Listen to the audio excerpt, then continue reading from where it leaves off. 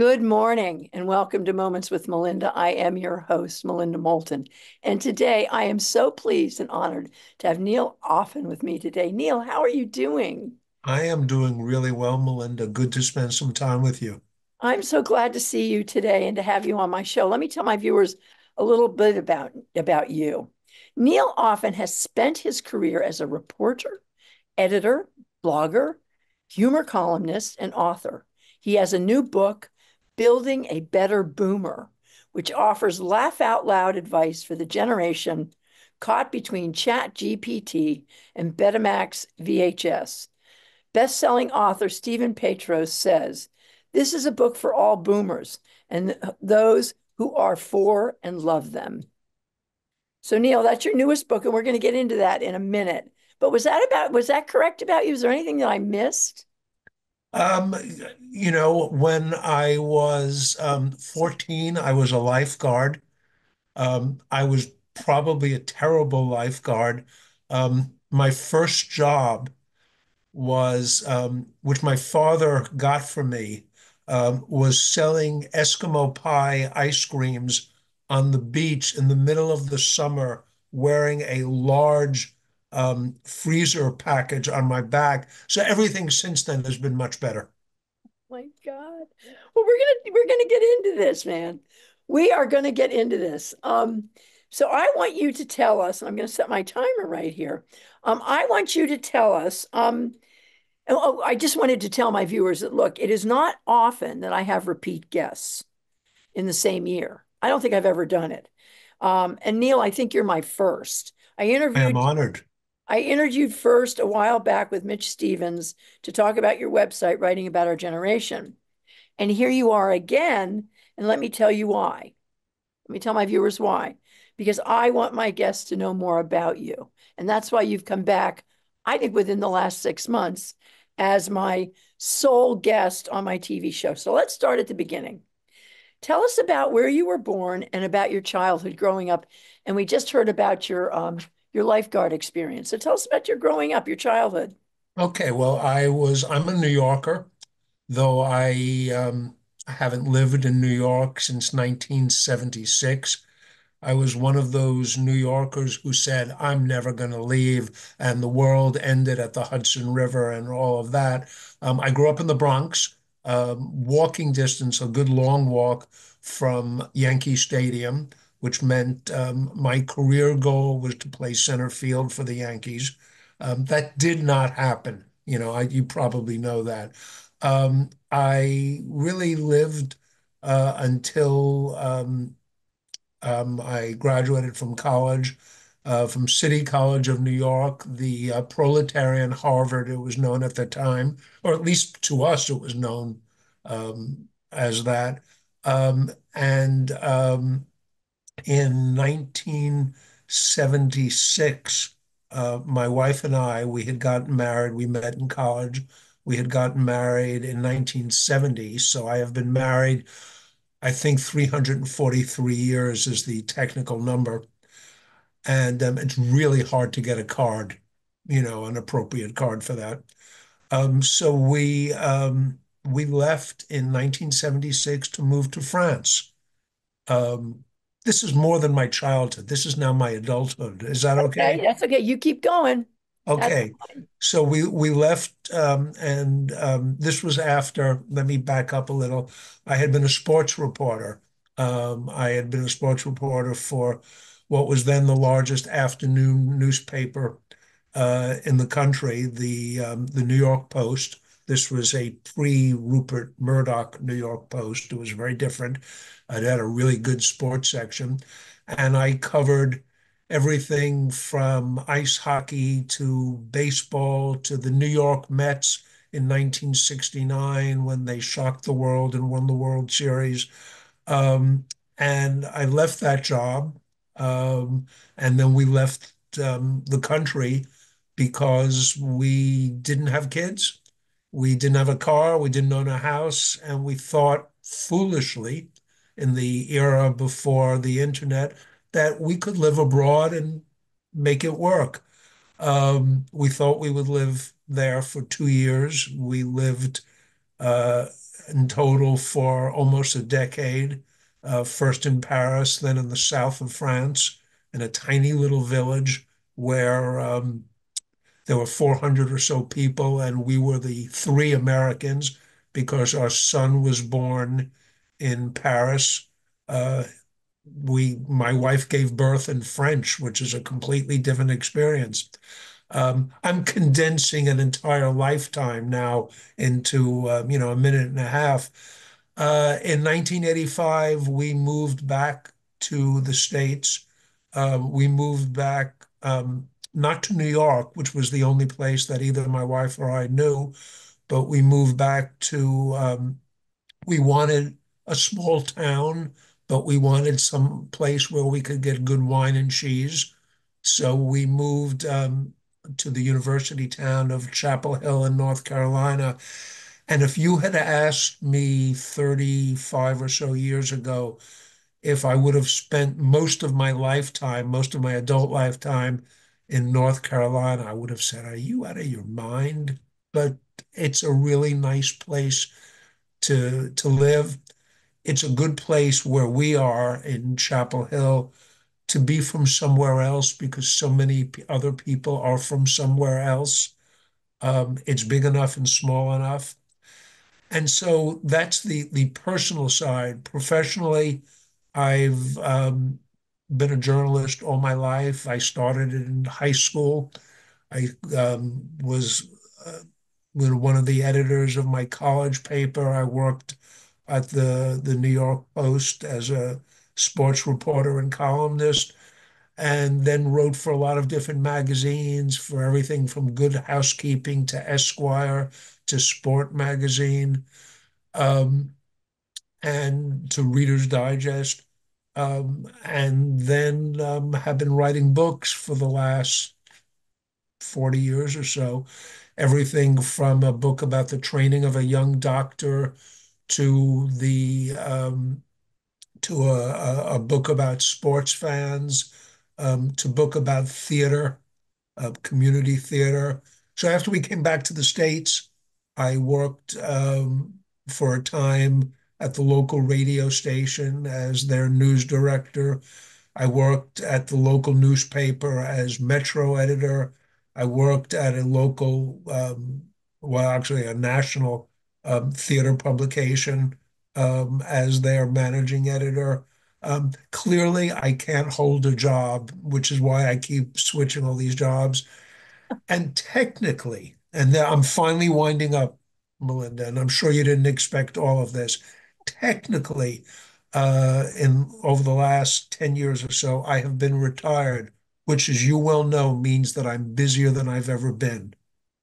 Exactly, you are. I mean, well, we all it is. We're repurposed. We we never retire. We don't retire until we're in the ground. We are repurposed, and we, we are. I'm, I'm not, I don't even know about the re. I'm I'm writing more than I have in a long time. I write for writing about our generation, Uh, as you mentioned. I write for Medium. I write for a local digital paper called the Local Reporter.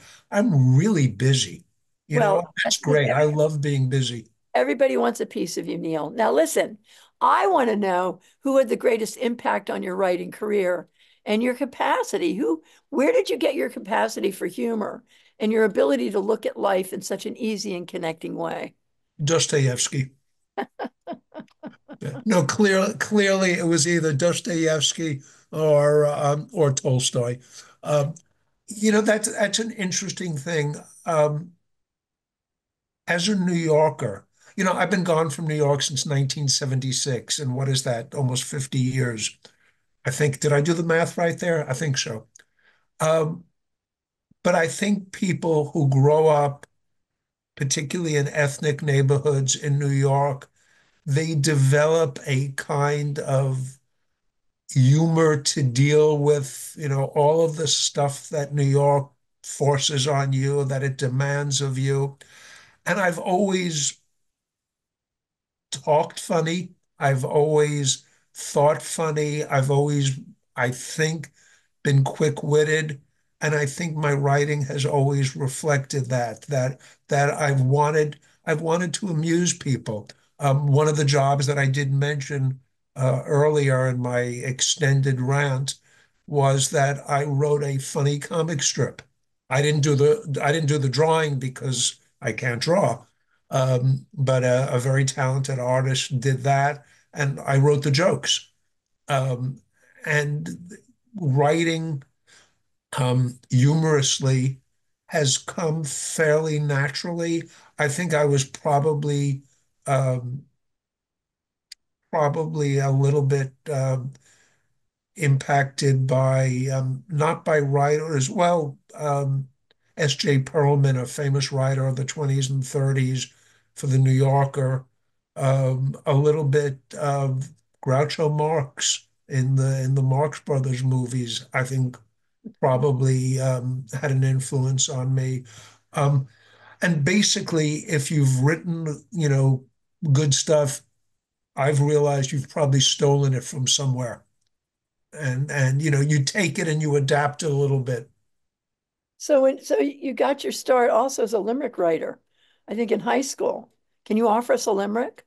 Uh, I I've tried limericks but most of my limericks ended with words that we're not supposed to say on your show, I think. Like Nantucket. Okay, so now, Neil, you were once lauded as that guy by the New York Times and hailed as him by NPR, and you were named un homme très étrange. I don't think I pronounced that correctly at all. you were close. By, by the French government. You are an award winning and important person, Neil. You just are. And yet you are one of the most humble and deeply lighthearted people I know. How do you stay so humble? Um, I, are you kidding? I have a family. How, how else, you know? I have a I have a wife. I have two kids. They they keep me humble. They know. Um, you know, I sometimes when I've told a story for the 738th time to friends about the time that when we were in Italy, I did such and such. I'll tell you that story now, Melinda. So the first time I was ever in Italy, we had taken the train down from Geneva to Venice. You get out on the train station in Venice and you see there's the Grand Canal, and you go, oh my gosh, there's the Grand Canal. What, you know, to use a, a Vermont expression, what chutzpah they had to build a city on water. So my wife and I, we quickly found a cheap hotel. We wanted to go explore. The way you get around in, in Venice is by um, little boats that are like buses called vaporettos. We walk up to the ticket booth and I, in my terrible Italian, I say, Due per San Marco, because we want to go to the, the center of town, the Piazza San Marco. And the guy starts saying something to me in Italian. I have no idea what he's saying. And he keeps, you know, talking. And I say, Due San Marco. And he starts really shouting loudly at me and people are starting to gather. And he's he's now almost screaming. Finally he gets out of the ticket taker booth grabs me by the arm and pushes us in the direction of one of the vaporettos. We get on the boat and i say to my wife can you believe it? We've been here all of a half an hour and and i look at my hand and it's full of wet paint. And it occurs to me the guy was saying idiot Take your hand off the rail. It's wet paint. Anyway, what was the question, Melinda? We're moving on. That is hysterical. That is beautiful. It was about how do you stay so humble because you are humble.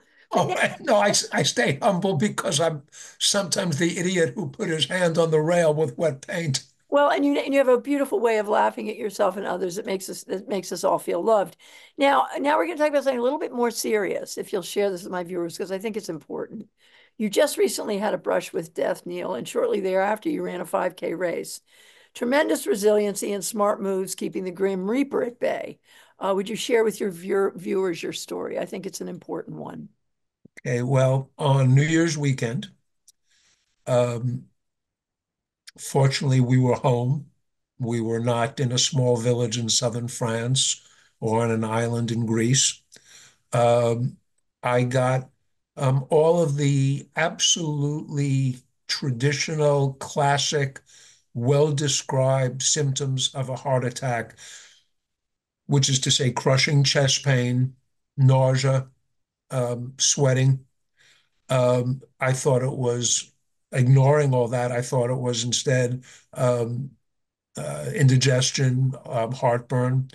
Um, my wife, um, who is a far smarter woman than I am, uh, wanted to call 911. I said, no, no, no, it'll go away. It didn't go away. Um, finally, she insisted, um, I'm going to drive you to the hospital. Fortunately, we live a very short distance from the emergency room of a major hospital. Um, it was the New Year's weekend. There was no traffic. We made every light. Uh, when I got there, um, and this is a, a piece of advice if you're ever at the emergency room and don't want to be in the waiting room for three hours while everyone else gets taken, when they ask what brings you here, tell them the, th the three key words severe chest pains. They took me immediately into the cath lab. They did an EKG. Um, they put in a stent. I was essentially dead. Um, the cardiologist later told me that um, I they had to shock my heart five times. They had to um, uh, do CPR several times. He said that they thought they were going to lose me. Uh, instead, um, they put a stent in. I was in the hospital for four nights rather than a month. Um, the doctor later later told me that had we lived five minutes further away from the hospital, I probably don't make it. So I am, and now I'm just summing up, I am an extraordinarily lucky, fortunate person who has recovered remarkably well. Um, I'm back to running. Uh, I don't run as fast and I don't run as long, but I did do a 5K with my daughter on Memorial Day weekend four and a half months after being in the hospital. Um, came in second in my age group. There were only three people in my age group, but please don't tell your listeners that. Wow. I mean, you and Mitch, Mitch is doing triathlons. Mitch is Mitch is incredible. Yeah, I, yeah you know, I mean, but he's but he's much younger. He's three years younger. He's is three years younger, but listen, bravo to you, and we're so glad that you that you beat the Green Reaper and you're here with us today, and and that your health is is steady and healthy, Neil. So speaking about Mitch Stephens, um, this website, writing about our generation, that you and Mitch, uh, who is another notable writer, um, have created. You have you have lots of incredible contributors, including two Vermonters, which is myself and John Killacky. And most of my viewers probably know John. So talk to us about how that came to be and how you Mitch, how you and Mitch decided to develop this. Mitch and I have known each other since we met in Aix-en-Provence in the early 1980s. Um, they were among the very, Mitch was on sabbatical and he and his family were there. They had kids about the age of our son. Uh, and we became friends and have stayed friends through 40 years. Um, after Mitch retired from teaching journalism, where he had been at NYU for three decades, we started to throw some ideas around of things we wanted to do, and both of us being writers, things we wanted to say, and things we thought friends of ours and people in our age group, like you and John, would also want to say. And over, I guess, a six or eight month period, we slowly developed. We had to, the, the hard part was the technical website stuff itself. And, you know, Mitch is better than I am. And it's a sobering thought as we say that he's our 75 year old IT guy. Um, but we but we figured it out. Um, and um, we've been having a ball with it. It's it's been great to get a wide variety of people um, writing, um, interesting people like your yourself. Um, it's given us when we have an idea, you know, two minutes before we started, it occurred to me there was something that I wanted to write about. So um, because I forget a lot of things. I actually wrote it down and I'll try to get to it in the next day or two. And it's a great thing to have a place where I know I can publish it and to have a place where other people are um, have similar interests and similar life experiences and different life experiences. One of one of the things we just did on the website is ranking all the presidents of our lifetime, going all the way back for my for my age to Harry Truman. And it was fascinating because all of them, all the presidencies were marred by something. And so you know who came out number one? Oh, Well, you may know who came out last.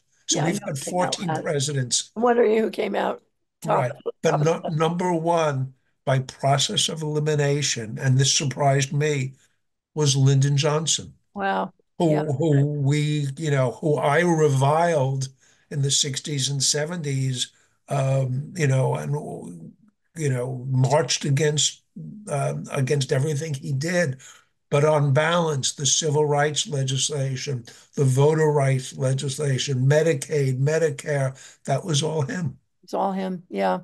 Uh, yes, I, well, that doesn't surprise me at all now. I mean, right now we're like, oh, Dick Cheney, you go guy. You know, I mean, yeah thi- things are, things have changed from when we were 17, 18, 19 in our early 20s fighting against the Vietnam War. We have changed and we've, things, things we, changed. we, we have a different perspective We have a different, so, so I wanted, I wanted, I wanted to bring this up to you. I had a thought about, to my viewers, go to www.writingaboutOurgeneration.com and you'll get to the website. Mitt, um, Neil, I had a thought.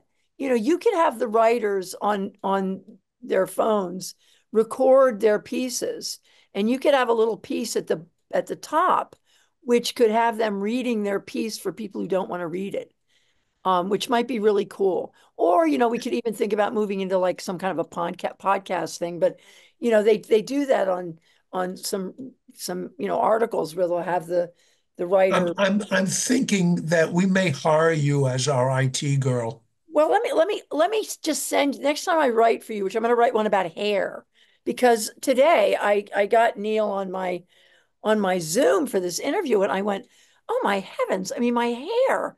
Well, you know, it's 74. I put on a hat. I thought maybe I can, you know, maybe I can improve my look with a hat. But you know, our hair, my hair. I don't know. I love your hair, but so I'm going to write an essay about hair in your 70s, and not the hair that we grew up with. Right, In, not not not the hair of the not, not, not the hair of the 1970s, but the hair of the of the 70s. So, okay, so that's a thought, and I will do that next time I write this essay. So now I want you to talk a little bit about your book uh, that you just wrote called "Building." There "Building it is. There it is. Building a Better Boomer," and um and which which I encourage all my guests uh, to get online. You get it at your favorite bookstore, uh, but you also have to give a copy to your children and to those who love us, who love their their older parents. Um, so Neil, it's it's hysterical. It's a great book. Tell us a little bit about what inspired you to write it. So I had been writing for um, local newspapers, um, funny columns, humorous columns for some time um, about lots of different things. But I realized after a period that there was a theme to many of the columns, and that theme was what was it like to be getting older, to be a baby boomer when the world is changing, when you're changing, when you're adapting to technology, when you're adapting to retirement, when you're adapting to health issues. And I realized that um, at first, you know, I could take a few of the columns and put them together and it would make a book. But then I realized, no, let me rework all of this. Let me, you know, give advice because you know we see this all the time in newspapers and magazines and TV shows and videos and on social media all this advice about you know get more sleep and eat better and you know make sure you exercise 25 minutes a day you know 332 days a year. And all of this is true. All of this we is stuff we know. I wanted to have fun with it And I think I think what the book does, um, you know, it, it talks about, you know, preventing falls because, you know, in you know, 98% of falls you end up on the ground, which is not a good thing. Um, you know, the idea is um, maybe to give a little bit of advice, but also to take a little bit of that advice and laugh at it. So Neil, why could you read a couple minutes of your book? Sure. I just happen to have it here. That would be great. Thank you. let me, this is a, a Offen reading about it, reading from his book, Building a Better Boomer. so this chapter or small chapter that I'm going to read is about retirement, since many of us, like you, Melinda, like me, are of retirement age. And if I can, so what makes a good retirement? Well, having money helps, of course. Research has shown that it's much better than not having money. 78% of retired people with money say they wish they had 78% more money. Yes, it's important to have saved for many years and who have avoided the 12 notorious retirement blunders and the seven infamous retirement mistakes. But money isn't everything, although it's a big help when you're buying stuff. To have a successful, fulfilling retirement, you can't just lie in bed all day counting your money, no matter how attractive that is and how good a mattress you have. Sometimes you'll have to get up and go to the bathroom. So, if you want to succeed in retirement, as I have, you must embrace your new status and make it meaningful. Here's how learn a new skill. Learning new skills keeps a retired mind sharp. You could take up masonry or learn how to speak Swahili or how to sneer like the French. Personally, I have recently been, been practicing introductory intracranial neurosurgery. It's far more interesting than masonry, more fun than sneering like the French, and it has kept my mind extremely sharp, except when by mistake I take the anesthesia myself.